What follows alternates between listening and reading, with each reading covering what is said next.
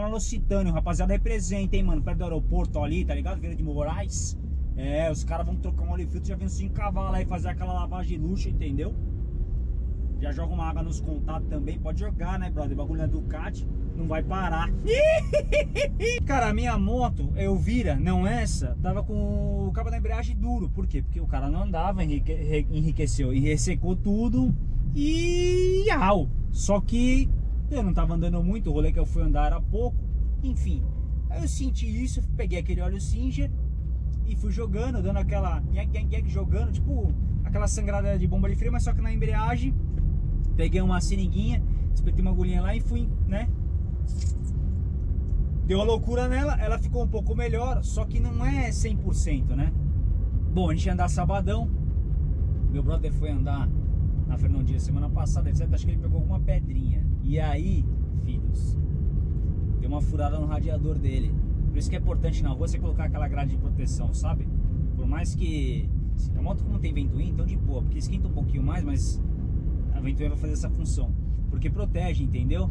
E aí, bom, pegou essa. Também não significa que você vai estar livre. Pode ser que você pegue uma menor também e vai na letinha ali, né? Às vezes amassa. Até recomendo se estiver esquentando muito sua, sua temperatura, você vê que o radiador tá muita letinha amassada, pega um palito de dente, alguma coisa, e vai acertando elas de volta para poder refrigerar, entendeu? Porque aquilo acaba servindo como se fosse um tampão, sabe? Então faz isso, vai reacertando ela, palitinho de dente, que ele trabalha de artesão e deixa ela luxo de novo, entendeu? Bom, enfim, ele parou no posto, começou aquela teia de aranha, eu falei, ixi, vai dar novidade isso aí, é melhor a gente é, cancelar. Liguei pro Vini, era uma da tarde, falei, Vini, e aí? Tamo aqui. Falei, demorou, então eu vou levar. Aí tava com a vermelha, falei, já vou aproveitar e levar minha também pra dar uma lubrificada no carro, porque aí desmonta direito, joga uma gasosa lá, né? Limpa, tira toda a, a, a cárcara, sei lá como é que fala isso aí. E depois lubrifica direitinho. Bom, eu vou ter que entrar, mas tá um pouco morto essa fila aqui. Aí, conclusão. Tá pronta, essa aqui eu preciso trocar o óleo filtro, já deu os três track days E eu preciso trocar a pastilha. Que eu tô usando aqui, que eu gostei muito É a EBC, a GP Fax. Animal, não é a HH, a GP Fax É a linha Racing dela. Só que você não acha mais aqui. E eu coloquei na ovelha tradicional, a vezazinha sinterizada E atendeu bem, entendeu? Então eu vou ver se eu coloco a vezar de novo Eu vou fazer um teste Ver se fica bom Porque eu não acho mais EBC Porque é caro e a galera não tem Não traz, entendeu? Isso é uma sorte, você achar uma vaga dessa e já aqui, ó. Isso é sorte, filho. Não, esconde não, Vini. Sai da coluna aí. Aí, só. Vinícius, o mecânico dos mecânicos. Ô, oh, peraí. Maravilha. E aqui, ó. Temos Nilo, Danilo e Red 750. Aqui é, é a mágica acontece. Maravilha. É o seguinte, hoje a gente vai fazer um assunto bacana, Danilão, porque vamos falar de cabo da embreagem. Um assunto interessante. Eu gostaria de saber de você, me fala como estava o cabo da minha embreagem, por gentileza. Nossa, eu devia ter filmado, mas apareceu uma gosma preta que saía dele. Sério? É. Você acha que era tipo Venom? Não, não chegava tanto. é, era um pouco menos? É. Não era uma simbiose? É, quase. Dá pra fazer um slime com ele, vai. Tá, tá, entendi. Olha aí.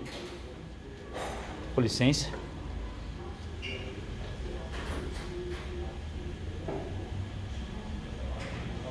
Puta merda.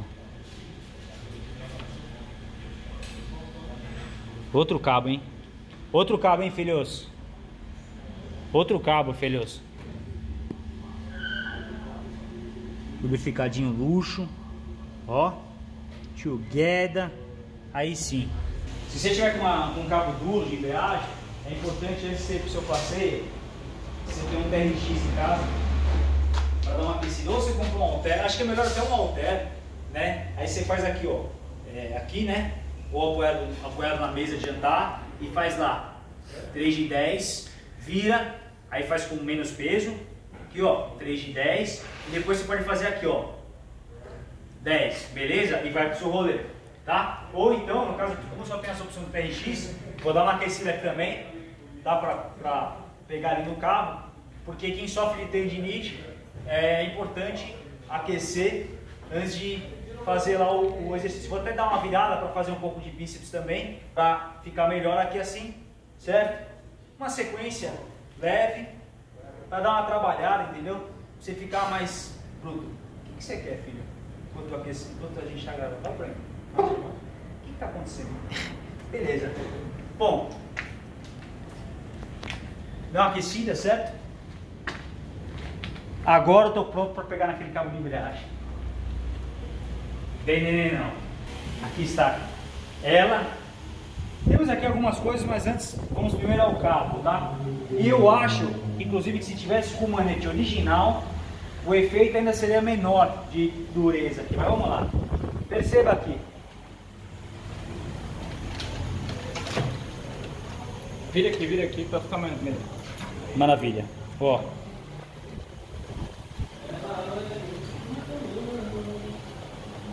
Olha o que tá duro isso aqui, filho. Olha o antebraço, A, so... antebraço, filma o a sorte, a sorte é que essa moto aqui tem kick shifter, porque se não tivesse, esse é um caso que até no meu canal, eu falo assim, Durval, comprei uma esportiva top of mind, mas não aguenta o meu antebraço.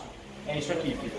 Então, sempre lubrifique o cabo de embreagem, porque se você não anda muito, fica a moto muito tempo parada, vai ressecando. Então, é importante você fazer esse cuidado aqui. É simples, melhor fazer na oficina, lógico, mas isso aqui, velho, depois de um tempo, você não aguenta mais, você vai pro rolê, os caras gostam de até Minas Gerais, de 3 km, o cara volta com o braço assim no tanque, ó. Ele não sabe mais o que está acontecendo. Às vezes até o risco de dar uma, uma cambinha, o cara cair de graça porque não estava aguentando mais. Então não deixe chegar assim, tá? Agora, você viu como é que é o exemplo lá? Vamos na parte 2. Isso aqui, filho. Tá no 4.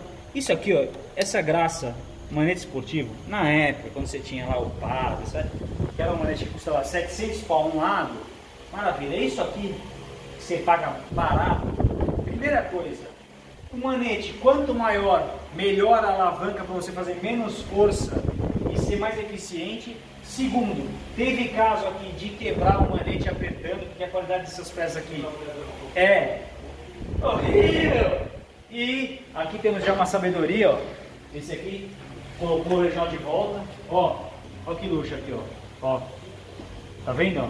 Luxo. E tirou isso aqui, ó. É bonito? É bonito. Mas é horrível. Então não serve pra nada isso aqui. Você gasta. É um dinheiro que você gastou que você poderia ter poupado. Quer gastar com um manete esportivo? Ali tem um exemplo, outro exemplo de um rapaz com bom gosto, que tá fazendo uma revisa geral aqui na motoca. Ó, carbono, aqui curtinho, tá não sei o que. Mas aí você tem regulagem com ar, etc. Olha isso aqui, ó.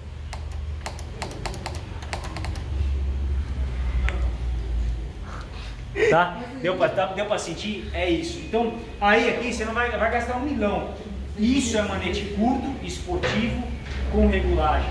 É isso. Se você não vai fazer isso, deixa original. É uma dica que eu tô te falando. Você economiza dinheiro e vai ter um cabo de embreagem melhor. Não tá correndo isso daquele manete quebrar, que não serve pra nada. E a regulagem do 1 ao 6 também não muda quase nada, então não adianta nada. Tá bom, filhos? Não esquece de lubrificar o cabo de embreagem, porque eu senti na pele também. A outra de pista tá com kick shifter, beleza, você nem sente porque é só na reduzida. Mas quem no dia a dia passar, subir e voltar, cabo de embreagem faz diferença no antebraço, meu filho. Anota isso aí. Eu já venho.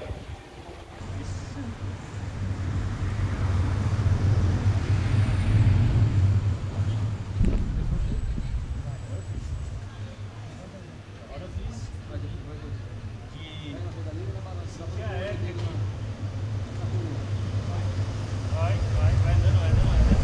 Vai, vai, vai. Aê!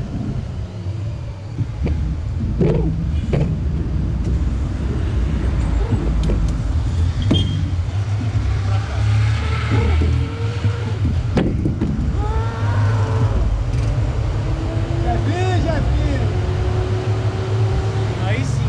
Ô, Red, põe uma narigueira maior, velho. Não é de um Red, não. Não é? Pensei que era, velho. Porra, o cara, mano. É o Scorpion, caralho. É de andar de carro.